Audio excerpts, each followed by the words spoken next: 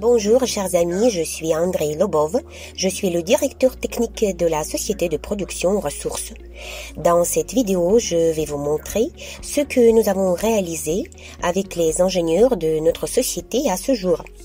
Vous savez tous qu'en novembre 2023, nous avons effectué des tests de moteurs en Macédoine du Nord. Puis l'un des entrepreneurs, qui est une personne très intéressante d'ailleurs, nous a demandé de fabriquer un moteur fixe pour un bateau coûteux. À noter que lors de notre essai, nous avons testé un moteur de bateau suspendu. Il s'agit d'un magnifique moteur modernisé par la société Ressources. Il déplace tranquillement le bateau avec une douzaine de personnes.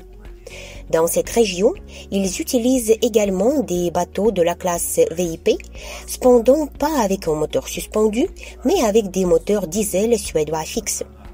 Évidemment, tout le monde comprend que dans un avenir proche, ces moteurs seront interdits sur le lac de Ride. Et bien sûr, les gens s'orientent maintenant vers des moteurs électriques.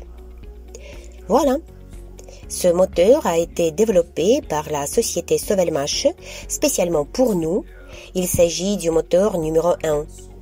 J'aime bien ce nom Sovelmash très joliment gravé et ici vous voyez aussi sa plaque d'immatriculation. En fait, c'est ce moteur que nous prévoyons d'installer sur ce bateau de façon fixe. Ce sera un moteur à entraînement direct. Nous avons déjà fabriqué tout le système électrique. Tout est prêt, même le régulateur de vitesse. C'est intéressant car même sans boîtier, ce moteur fonctionne déjà très bien. Là, on peut allumer, enclencher le mouvement vers l'avant et laisser cette poignée. Il s'agit d'une commande sous volant. Vous savez que le capitaine a toujours une poignée qui déplace le bateau en avant et en arrière. Ici, cette poignée a déjà été fabriquée. Nos ingénieurs ont bien réfléchi et ont tout fait de manière très pratique.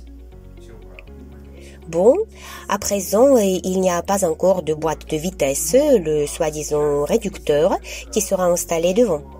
Par conséquent, le moteur sera un peu plus long et il y aura encore le rapport direct avec l'hélice, c'est-à-dire que l'arbre avec l'hélice sortira directement de la traverse du bateau et plongera dans l'eau.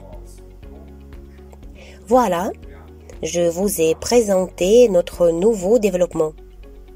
Un développement similaire a déjà été fabriqué pour les bateaux traditionnels amazoniens, mais là-bas le moteur est utilisé de manière suspendue.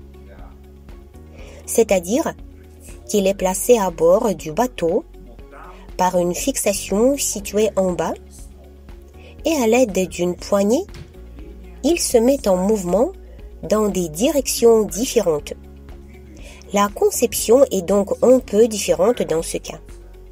Ce moteur-ci est avec réducteur et celui-là est sans réducteur. Voilà, c'est tout ce que je voulais vous dire. Merci beaucoup. À bientôt.